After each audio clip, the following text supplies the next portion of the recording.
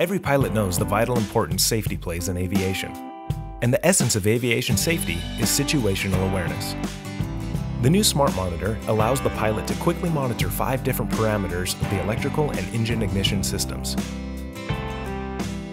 With the engine off, SMARTmonitor displays the main battery voltage. The display is green under normal conditions and turns yellow when the main battery voltage is abnormally high or low. The screen flashes red if the battery is depleted or if the voltage is extraordinarily high. This same color coding is used in monitoring the backup battery and ignition systems. Scanning defaults to automatic, but can also be done manually with a simple button push.